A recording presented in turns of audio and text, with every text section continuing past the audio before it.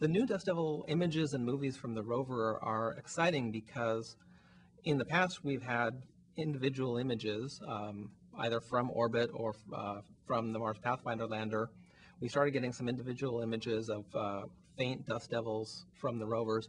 Now we're getting these movies that show details in the dust devil's appearance much better than any previous images have shown the details, and we're getting these every 20 seconds, so we're looking at how the dust devil's appearance is changing with time as they move across the surface. You see here three frames of a dust devil that passed fairly close to the rover, just at the bottom of the hill the rover is sitting on. This is the best example of detail in the dust devil that you can see as one of these goes by the rover. They hit a pocket of dust and get much dustier, and then as they move away from the pocket of dust, the dust in the dust devil gets pushed up into the atmosphere away from the surface and their appearance changes. So we're watching these changes and learning uh, how they interact with the surface better. About 2 o'clock local time is a time when the ground is at its hottest and it kicks up dust devils as wind passes over the hot ground. What you're seeing is a whole bunch of dust devils moving across the surface with the wind.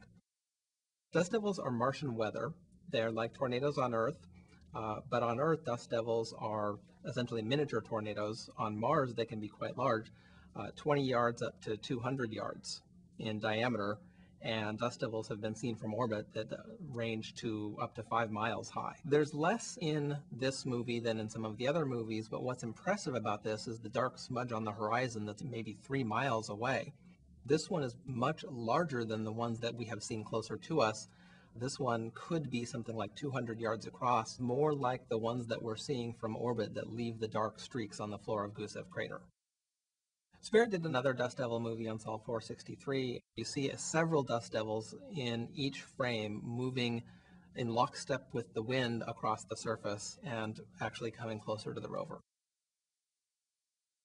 We expected to see Dust Devils when we first landed, uh, did not and that may have been because it was difficult to see them from where we were. Now we're perched on a hilltop and it's easier. So now that winter is over, we're starting to see them.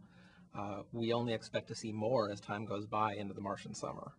Possibly we'll see larger ones uh, because we know that dust devils can leave dark streaks along the floor of Gusev crater where all the dust is picked up.